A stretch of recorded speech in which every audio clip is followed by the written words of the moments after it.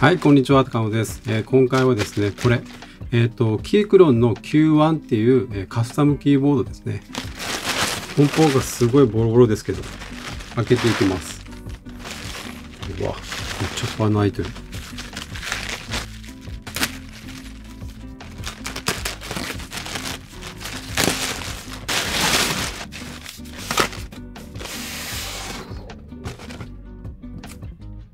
キークロンの Q1 です。え、75%のメカニカルキーボードですね。うん。買いました、これ。えっ、と、これですね、え、ちょっと開封する前にちょっと説明しておきますと、あのこれ発売開始が8月の24日です。え、に注文して、え、9月の25日に届きました。キークロンのキーボードは、これですね、え、もうちょっと外見、外観がもうガラッと変わっちゃってるんですけど、これキークロンの K6、えー、K6 ですね、を持ってて、いろいろカスタムしてこんな感じになりました。えー、これをカスタムしてる様子は動画にもアップしているので、まあ、気になる方はちょっと合わせて見てみてください。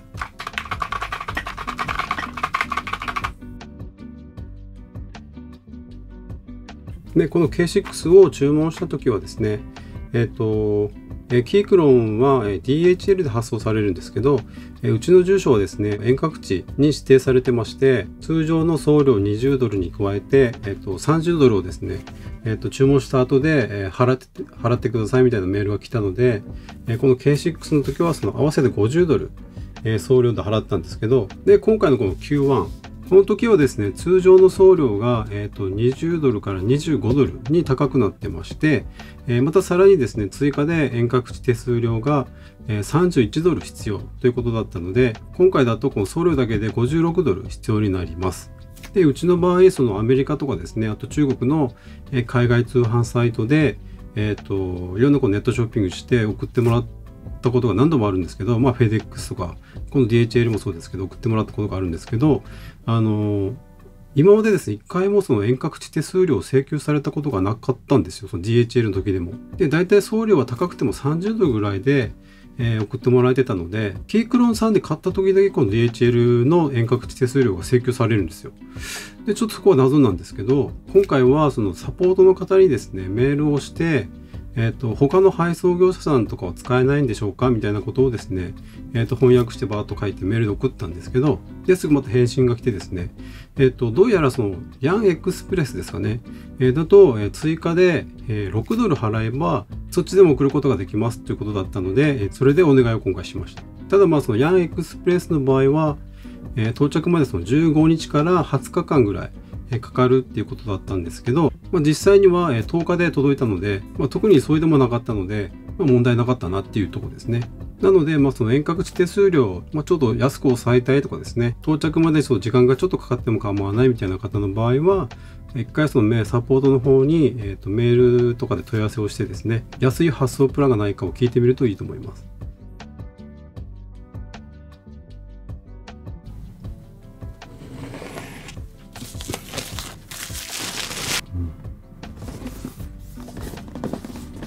75%レイアウトですね。えー、で、 dual compatibility、Mac と Windows 両方で使えますと。で、QMK と BIA。これ BIA って読むのかな？ちょっと読み方がわかんないですけど、QMK と VIA、VIA のオープンソースのファームウェアに対応しています。えっ、ー、と、実際ですね、僕パソコン Mac で使ってますけど、この他にその KBD ファンズの DZ60RGB のですね、PCB ボードを使っているので、えー、で、それはこの Mac、iMac で使ってます。まあ、QM 系で一回使おうとしたらなかなかちょっとうまくいかなかったんで、えビアの方でやったら、まあ、特に違和感なく普通に使えてます。あの日本語英語の切り替えとか、あとま矢印キーの割り当てとかですね、あともファンクションの割り当てとかも、え、全く問題なく使えているので、まあ今まで Mac でちゃんと使えてるっていうのがあったので、もうこれも買った理由の一つですね。あとこれガスケットマウントなんですよ、ガスケットマウント。え、僕ガスケットマウントまだ使ったことないんですよね。あとまあスクリューインスタビライザーとかありますけど、アルミナムボディ、サウンドアブソーアブソービングフォーム。これ、静音のフォーム、えーと、薄いスポンジみたいなやつですね。それも入ってるみたいです。で、これ、キースイッチは、えー、ホットスワップにも対応してます。結構しっかり、お、はまった。おじゃ。パッカ Make sure switch pins are straight. before inserting switch in ですね。うん。このピンが斜めになってたらちゃんとはまらないってことですね。うん。ホットスワップのキーキャップって結構こうしっかりこう慎重に刺さないとこのピンがこうグネってなってこう曲がったりとかしてキーが認識してくれないってことが結構あるので、まあ、それ注意が必要ってことですね。マニュアルは英語と中国語版ですね。結構重たいな、これ。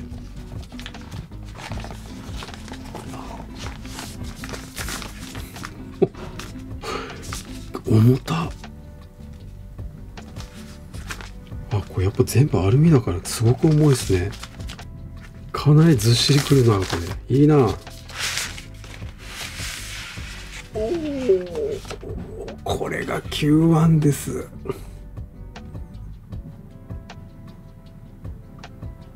すごい。あちょっとこのキートップキーキャップはちょっとグレーっぽい感じなんですねここは。ちょっと青みもある感じ？すっごいずっしりくるこれ。背面を？おおもう全部アルミですよケース。おおすげえしっかり作り込んである。結構複雑な形状してますね。ここにスイッチがありますね。Mac と Windows でこう USB-C 重厚感がすごい。で付属品は？おお。あコイルケーブルついてんだ。底面のゴム足とかビスとか Windows 用のキーキャップですね。が付属しています。コイルケーブルは今ちょっと普通に使っているやつがあるんでちょっとそっちを使います。これせっかくコイルケーブルなのになんかこう形が変わっちゃってるじゃん。もうちょっと綺麗に梱包してほしいなで一番下にあまたなんかある。クイックスタートガイド。あこれちゃんと説明がありますね。まあこのビア使わなくてもいけそうな感じですね多分。キークロンの、えキーキャップ引き抜きツールとこれキースイッチを引き抜くやつです。六角レンチとプラスドライバー。一番気になるタイピング音ですね。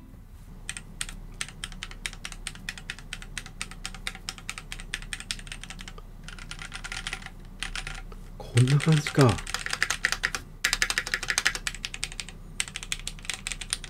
あでもしっかりしてる。アルミのケースにこうあこうしやすいこうしやすいですね。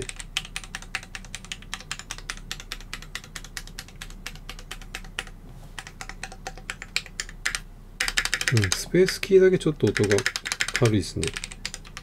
うん、ここのスタビライザーの他のところは、他のキーとそこまで違いがなくて、ああ、いいですね。これがガスケットマウントか。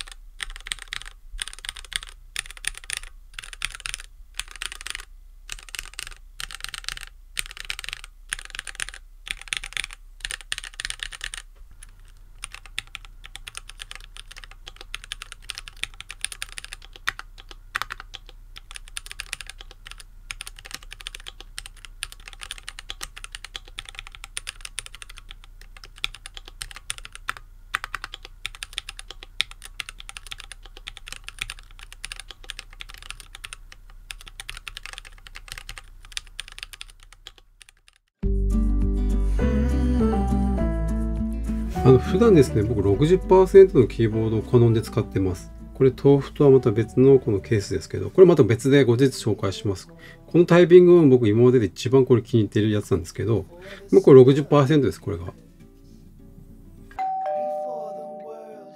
えー、60%とか75%とか、えー、ずっと言ってますけど、えー、ご存知じゃない方のために補足しておきますと、えー、簡単に言うとですね、これフルサイズキーボードを100%として、え、その何パーセントのサイズかということを表してます。で、僕これ最初65%とか75%もそうですけど、これが65%ですね、キークルの K6。これで使ってて、ちょっと嫌だなっていうかまあ気になってたのが、このバックスペースとかのもう一個右側にキースイッチがあるんですけど、バックスペースとかエンターを押そうと思った時に、この一番右側のそのキーを押し間違えることが結構あったんですよね。で、まあこの60%のキーボードが好きになったんですけど、で、今回この Q1 はバックスペースとかエンターの右側に、ここにちょっと隙間があるんですよね。なので、こう文字をこうタイピングしてる時に、このバックスペースの右側に、このスペースがあることで、えー、これを押し間違えることがないだろうなと思ったんですよ。なので普段は60%が好きなんですけど、この、えーと、75%のキーボードを買う気になりました。で、今ちょっと触ってますけど、うん、これぐらい空いてれば、間違えてこのページアップとか、こっちを押すことはなさそうですね。うん。これ、キーキャップ開けてみましょうか。おお、ブラウン。茶軸です、これ。言うの忘れてましたね。ガテロンブラウンってやつですね。ゲイテロンなのかな？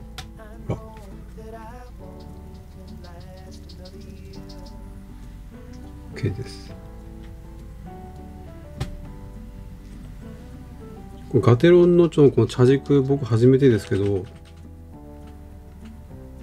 あタクタイル感ほんのちょっとですねうん気持ちいい感じで打てますね。うん、これいいですね。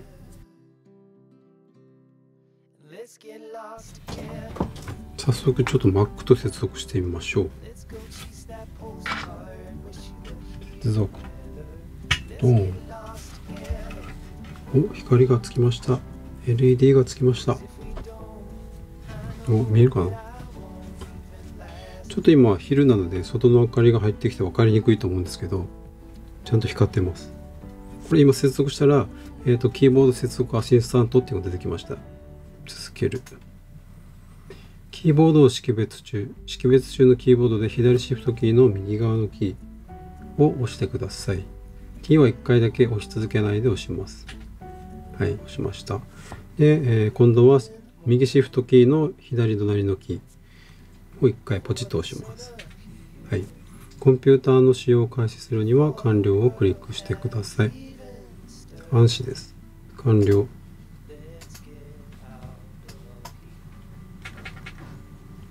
おお、これひらがな、英語、ひらがな、英語。だから Mac のキーボードはこのスペースキーとこのコマンドキーの間にカナと英数ってやつがあるんですけど、これはないですね。コマンドキーが、えっ、ー、と、カナと英数を、えー、兼任してるってことですね。この使い方が一番慣れてるからいいですよね。F1、あ、ちゃんと反応する。F2、お、いいね。あ、いいね。やっぱ Mac にちゃんと対応してるのがいいですね。F4、F5、F6。キーボードの光がこれで調整できてます。わかりにくいと思いますけど。で、F7。 key code、previous track。はい。 play は pause。ちゃんと反応してますね。フォーワードでしょ。 next track。音量。はい。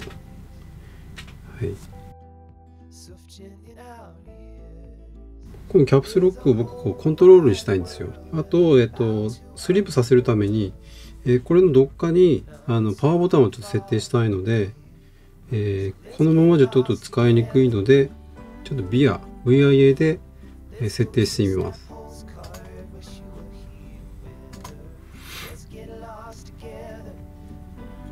お、キークロン Q1 って出てる。因数、ページアップ、ページダウン、ホーム、やったああ、はいはい。RB、LB。あ、綺麗にちゃんとなってますね。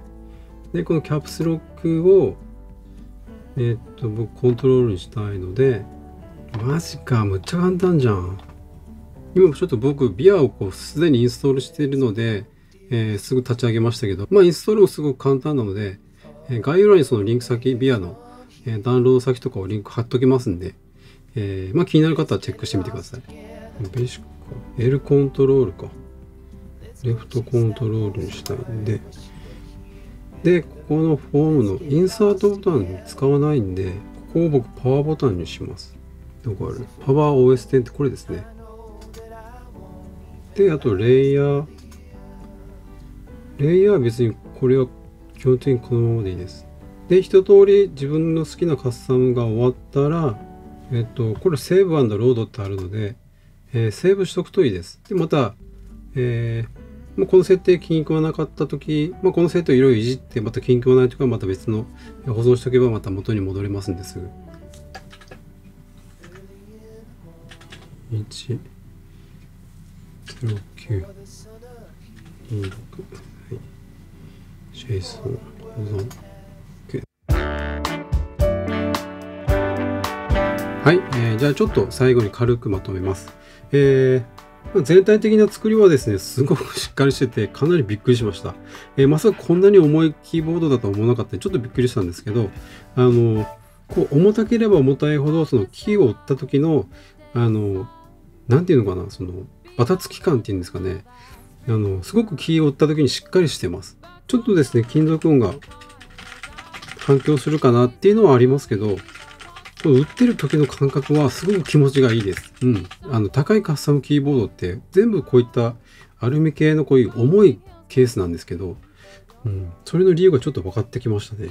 あと、まあ、キースイッチとこのキーキャップは、えー、後で好みのものに自分で変えればいいと思うんですけど、えー、このキーキャップは、最初の K クロン K6 の時は30分ぐらい使って、すごく、ここが、キーキャップがすごくテカテカしてきたんですけど、これはそんなことはなさそうですね。で、これ一番これ驚いたのが、このクオリティで価格が179ドルなんですよ。で、今、今10ドル安くなって、169ドルで買えるんですけど、で、送料も含めたら2万5千円ちょっとぐらいですかね。で、買えてます、これは。まあ、初めてちょっと本格的なこういう重いアルミのカスタムキーボードが欲しいっていう方は、これちょっと、これおすすめですね。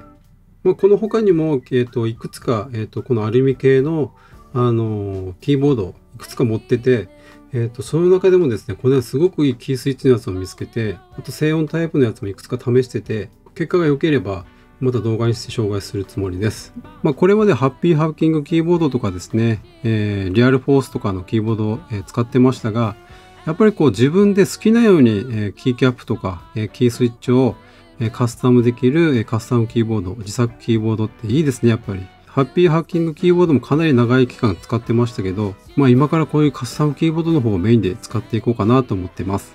この動画が役に立ったら高評価と、えー、チャンネル登録、コメントもぜひよろしくお願いします。それではまた次の動画でお会いしましょう。バイバイ。